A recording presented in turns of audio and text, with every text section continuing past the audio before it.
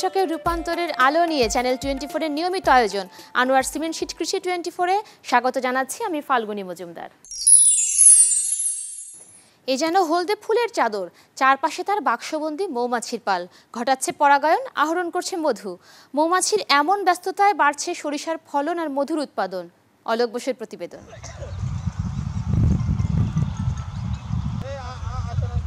এখন সরিষার মৌসুম। পুরো বাংলার শস্য মাঠ যেমন তেমনি মাগুরা জেলার গ্রামগঞ্জের মাঠকে মাঠ সেজেছে সরিষা ফুলের হলুদ আবরণে।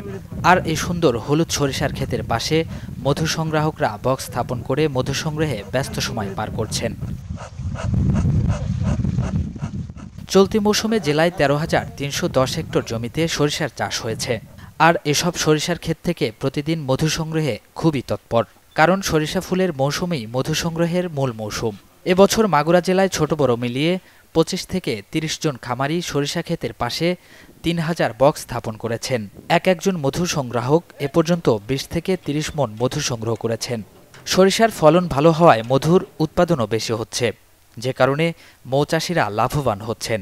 অল্প পুঁজিতে মৌ খামার করে বেকার সমস্যা সমাধান হওয়ায় অধিকাংশ মৌচাষী সন্তোষ প্রকাশ করেছেন। মৌচাষ ও মধু সংগ্রহ লাভজনক হওয়ায় অনেকে আগামীতে এ চাষ করার জন্য আগ্রহ প্রকাশ করেছেন। এক সপ্তাহ পর পর আমরা মধু সংগ্রহ করি এর থেকে আমরা দুই দুইবার সংগ্রহ করেছি তাতে আমাদের প্রায় বিশ মন মধু আসছে আর বিশ মন মধুর দাম প্রায় তিন লক্ষ টাকা মতন। আর আমরা সামনে আরও আশা করছি আরও তিনটে ভাঙা দেব ইনশাল্লাহ আমরা এর থেকে আরও অনেক মধু সংগ্রহ করব। মধু চাষ করে আমরা আমাদের বেকারত্ব দূর হবে। প্রশিক্ষণ নিয়ে তিরিশটা বক্স করেছি। আমি অনেকটা স্বাবলম্বী মানে লাভজনক। এই লাভজনক আমি আগামীতে তিরিশটা বক্স আরও তিরিশটা বক্স যাতে বাড়াতে পারি ইনশাল্লাহ আমার বেকার জীবনটা কাটে যাবে ইনশাল্লাহ। আট থেকে দশ বছর আমি খামার করতেছি চাষ করতেছি। তা পঁচিশ থেকে তিরিশ মন মধু সংগ্রহ করে। এতে খরচ কথা বাদে আমি প্রতি বছরে লাভজনক হয় তিন থেকে সাড়ে তিন লাখ টাকা লাভ পাই এটা খুব সহজ ব্যবসা যে কেউ করতে পারে। আমার কাছে যেটা মনে হয়েছে যে আমি এই ব্যবসা করলে অনেক আমি লাভবান হব। তাই আমি এই ব্যবসার প্রতি আমি আগ্রহী কৃষি বিভাগের কর্মকর্তা আশা করছেন এই সরিষা মৌসুমে চল্লিশ মেট্রিক টন মধু সংগ্রহ হবে। পাশাপাশি মৌমাছির দ্বারা সরিষা ফুলের পরাগায়ন ভালো হওয়ায় এ অঞ্চলে সরিষার ফলনও বেড়ে যাবে। এই আছে। আলোকের বেশি শক্তিশালী। সে কারণে সরিষা ক্ষেতে মৌবক্স স্থাপনের জন্য কৃষকদের উদ্বুদ্ধকরণের সঙ্গে কৃষকদের মাঝে আধুনিক মৌবক্স সরবরাহ করার পাশাপাশি সব ধরনের সহযোগিতাও দেওয়া হচ্ছে। এবছর প্রায় তিন হাজার মৌবাক্স স্থাপন করা হয়েছে। আমাদের কৃষি সম্প্রসারণ অধিদপ্তর তরফ থেকে সাতাশটা উন্নতের মৌবাক্স স্থাপন করা হয়েছে। এ পর্যন্ত প্রায় চার হাজার কেজি মধু উৎপাদন হয়েছে এবং প্রায় পঁয়ত্রিশ থেকে চল্লিশ মেট্রিক টন মধু উৎপাদিত হবে বলে আমরা মনে করছি। সব ধর্মীয় গ্রন্থে বলা হয়েছে, সর্বরোগের মহা ওষুধ হলো মধু। গবেষণাও বলছে একই কথা। ভিটামিন কোলাইন, ফোলেট, নিয়াসিন সহ আট ধরনের ভিটামিন ছাড়াও রয়েছে এগারো ধরনের খনিজ উপাদান, সাথে উনিশ ধরনের আমিষ ও অ্যামাইনো অ্যাসিড। মুখে মধু, অন্তরে বিষ, কিংবা মধু হই হই বিষ খয়লা। সর্বরোগের মহাসুদ, মধুকে ঘিরে বাংলা সাহিত্যে এমন গান কিংবা প্রবাদের প্রচলন তাই হাজার বছর ধরে। ফুলের মিষ্টি রস নেকটার খেয়ে মৌমাছি চলে যায় চাকে। এরপর এই নেকটার অ্যানজাম সহ পেট থেকে উৎগীরণ করে। খেতে দেয় অন্য মৌমাছিকে। সেই মৌমাছির পেট থেকে তৈরি হয় কাঁচা মধু, যা পরে পেট থেকে উৎগীরণের পর জমা করে কোষে। পরে ডানা দিয়ে বাতাস করে জলীয় অংশ কমায় এবং সতেরো থেকে উনিশ শতাংশ জলীয় বাষ্প থাকলে মোম দিয়ে বন্ধ করে দেয়। এই পাকা মধুই মানুষের জন্য মহাওষুধ বলে সব ধর্মীয় গ্রন্থে বলা হয়েছে। গবেষণা বলছে, মধুতে আছে antioxidant vitamin choline, folate, niacin সহ আট ধরনের ভিটামিন ছাড়াও রয়েছে এগারো ধরনের খনিজ উপাদান, সাথে উনিশ ধরনের আমিষ ও অ্যামাইনো অ্যাসিড। বিশেষজ্ঞরা বলছেন, মধু হৃদযন্ত্রকে ভালো রাখে, ক্ষতিকর ব্যাকটেরিয়া ও ছত্রাক থেকে মানুষকে রাখে নিরাপদ। এছাড়া শিশুদের ঠান্ডাজনিত রোগও নিয়ন্ত্রণ করে মধু। মধু আমাদের শুধু শারীরিক বিশেষ করে যে ইমিউনিটি সিস্টেম সেটাকে ইয়ে করে আমাকে হজম এটা সহায়ক তাছাড়া আমাদের দৃষ্টিশক্তি বাড়ায় আমাদেরকে প্রচুর এনার্জি দেয়। আমাদের একটা প্রবাদ আছে যে মা দাদি নানিরা যে জন্মের পরে আসলে আহ, কিনা করে মধু হয় তবে এখানে একটু সাবধান হতে হবে। কারণ আপনারা জানেন যে নবজাতক শিশু বা যারা দুই বছর পর্যন্ত তারা খুবই ভালনারেবল থাকে। হ্যাঁ, এবং আপনারা জানেন মধুতে একটা ব্লুডিজম ইয়ার একটা জীবনের সৃষ্টি হয় এবং তাতে করে দেখা গেল যে এই অনেক বাচ্চা এটা ক্ষতিগ্রস্ত হতে পারে। এই জন্য যে সাধারণভাবে আমি বলব যে আসলে বাচ্চাদের ক্ষেত্রে মধু দুই বছর পর্যন্ত না খাওয়ানোই বেটার ডায়াবেটিস রোগীরা মধু পরিমিতভাবে কখনো কখনো খেতে পারবে, তবে প্রত্যেক ডায়াবেটিস রোগীর জন্য একটু আলাদা হতে পারে। যদি কোনো ডায়াবেটিক রোগী মধু খাওয়ার পরে দেখে যে তার সুগারের কোনো পরিবর্তন হয় তাহলে সে সতর্ক হতে হবে। নতুবা সে স্বাভাবিকভাবে যে মাঝে মধ্যে সে মধু অনায়াসে খেতে পারে। দর্শক, আনোয়ার সিমেন্ট শিট কৃষি টোয়েন্টি ফোরে, সময় হয়েছে একটা বিরতির বিরতির ওপারে আবারও দেখা হবে, সাথেই থাকুন।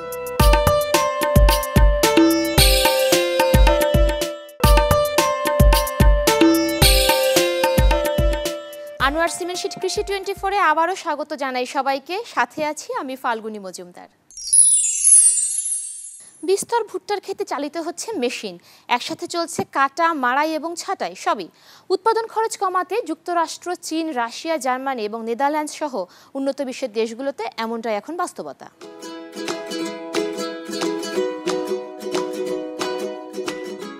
প্রধান শস্যের তালিকায় থাকা ভুট্টার আবাদে উন্নত বিশ্ব নির্ভর এরকম যন্ত্রের উপর।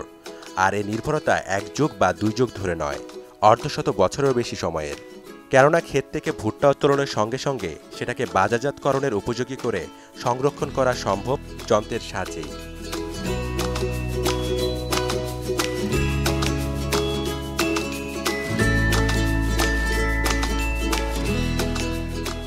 কিন্তু অবাক করার বিষয় হলো, ভারত কিংবা পাকিস্তানের মতো দেশেও যখন ভুট্টা চাষে এসব যন্ত্রের ব্যবহার জনপ্রিয়, তখন দেশের কৃষকরা ভুট্টা চাষ, মাড়াই কিংবা ঝাড়াই সবই করছেন সনাতন পদ্ধতিতে।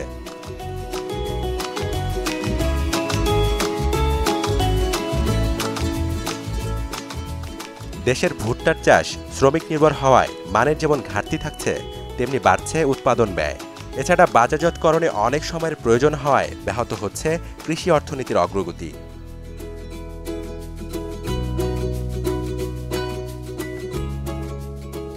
ভুট্টা উত্তোলনের এই মেশিনগুলো বর্তমানে online shop, Alibaba dot com, global source dot com এবং অ্যামাজন ডট কম সহ বিভিন্ন ওয়েব শপে পাওয়া যাচ্ছে।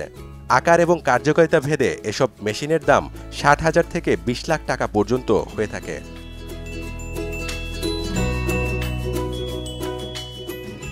চাল এবং গমের তুলনায় ভুট্টার পুষ্টিগুণ বেশি থাকায় পৃথিবীব্যাপী মানুষের খাবারের পাশাপাশি ব্যবহার করা হচ্ছে পোলট্রি শিল্প, গবাদি পশু এবং মাছের খাবার হিসেবে। ভুট্টার এই চাহিদা মাথায় রেখেই বাংলাদেশে ভুট্টা চাষকে আধুনিকায়ন করে কমাতে হবে এই উৎপাদন খরচ।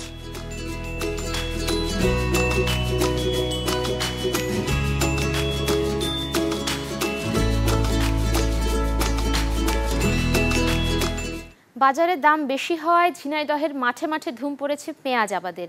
কোথাও চারা ওঠানো, আবার কোথাও চলছে রোপণ। শীত উপেক্ষা করে বড় ও প্রান্তিক থেকে শুরু করে সকল পর্যায়ের কৃষক এখন পেঁয়াজ আবাদে ব্যস্ত। কৃষি কর্মকর্তারা বলছেন, ভালো ফলন ও উৎপাদিত পেঁয়াজ সংরক্ষণে কৃষকদের দেওয়া হচ্ছে প্রযুক্তিগত সহযোগিতা।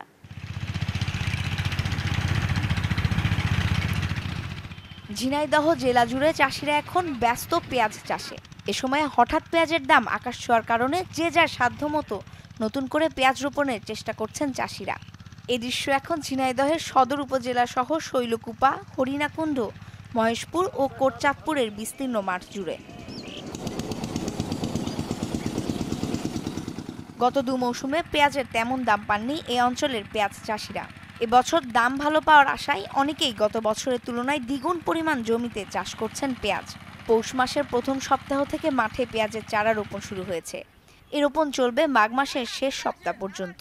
কৃষকের এই রোপিত পেঁয়াজ বাজারে আসতে লাগবে আরও দু থেকে আড়াই মাস। সে সময় পেঁয়াজের দাম ভালো থাকলে এবার লাভের মুখ দেখবেন, এমনটি আশা করছেন এই অঞ্চলের কৃষকরা। আমাদের পেঁয়াজ চাষে এক বিঘায় খরচ হয় পঁচিশ থেকে ছাব্বিশ হাজার টাকা, আর ফলন পাই আশি থেকে নব্বই মন। যদি দাম ভালো থাকে তাহলে পরে চাষি আরও আগামী সন আরও বেশি করে লাগানোর একটা উদ্যোগ নেবে। আর যদি দাম কমে যায় তাহলে তো আর চাষি শেষ। প্রত্যেকবার যে পরিমাণ পেঁয়াজ লাগানো হয় মাঠে তার তুলনায় এবার অনেক বেশি লাগানো হচ্ছে। তার কারণটা হচ্ছে গতবার যে দামটা পাইছে সেই হিসাবে বেশি লাগানো হচ্ছে। গতবার তিন বিঘা লাগাইছিলাম এবার দাম টাম বেশি দেখে এবার তিন বিঘা বেশি লাগাচ্ছি ছয় বিঘা লাগাচ্ছি। আশা করছি যে দাম টাম একটু বেশি পাবো বলে। পেঁয়াজের দাম বেশি হওয়ার কারণে আমরা সবাই পেঁয়াজ লাগাচ্ছি। তে এই পেঁয়াজ উঠার পরে আমরা যেন ঠিকভাবে দাম পাই। ঝিনাইদহ জেলা কৃষি সম্প্রসারণ অধিদপ্তরের দেওয়া তথ্য মতে এবছর জেলার ছয়টি উপজেলায় নয় হাজার বিশ হেক্টর জমিতে পেঁয়াজ চাষের লক্ষ্যমাত্রা ধরা হয়েছে। গত বছরের চেয়ে দুই হাজার হেক্টর বেশি জমিতে। যাতে পেঁয়াজের দাম আমরা ভালো পাই সরকার যাতে বাইরের আমদানি না করে এই দেশি পেঁয়াজই দেশ চলে যাবে যে পরিমাণ লাগাচ্ছে। সরকার যাতে আমাদের দিকে নজর দেয় যাতে আমরা এই পেঁয়াজের চাষ করে উন্নতি হই। দেখো আমার ভাই লাগাচ্ছে, আমরা লাগাইছি। আমার ভাই লাগাইছে। এবার পেঁয়াজ চাষ অতিরিক্তই বেশি। মানে এত পরিমাণ পেঁয়াজ লাগাচ্ছে, এরকম পেঁয়াজ লাগান আমার জীবনে আমরা দেখি নাই। ভাই এই মাঠে জীবনও পেঁয়াজের চাষ হয়নি। এই প্রথম এইবার তামান মাটি পেঁয়াজ। আমার নিজেরও দেড় বিঘা লাগাইছি। আবার এই যে আমার এই ভাই লাগাচ্ছি, এও মনে হয় বিঘে দুই আড়াই হবে না। পেঁয়াজ উৎপাদন ও সংরক্ষণে কৃষকদের সকল প্রকার তথ্য ও প্রযুক্তিগত সহযোগিতা দেওয়া হচ্ছে বলে জানালেন এই অঞ্চলের দায়িত্বরত কৃষি কর্মকর্তা। গত বছরের পেঁয়াজে পেঁয়াজ মৌসুমের শেষের দিকে বৃষ্টি হওয়ার কারণে পেঁয়াজ সংরক্ষণটা কিছুটা হলে বাধাগ্রস্ত হয়েছিল, যার কারণে কৃষক শুরুতেই পেঁয়াজ বিক্রি করে দেওয়াতে তারা সঠিক দাম পায় নাই। তবে এবছর আমরা কৃষক যাতে তাদের পেঁয়াজ সংরক্ষণ করতে পারে এবং একেবারে উঠতি মৌসুমেই যাতে তাদেরকে বেচতে না হয়। সেজন্য তাদের যে প্রযুক্তিগত পরামর্শ, সেই বিষয়টা আমাদের যারা মাঠ পর্যায়ে কর্মকর্তা আছেন উপশহরী কৃষি কর্মকর্তা, তারা সার্বক্ষণিকভাবে দিয়ে যাচ্ছেন। দর্শক, কানোয়ার সিমেন্ট শীট কৃষি টোয়েন্টি ফোরে আজ এ পর্যন্তই। আগামীকাল আবারও দেখা হবে, ঠিক বিকেল চারটে চল্লিশ মিনিটে। সে পর্যন্ত ভালো থাকবেন সবাই, ধন্যবাদ।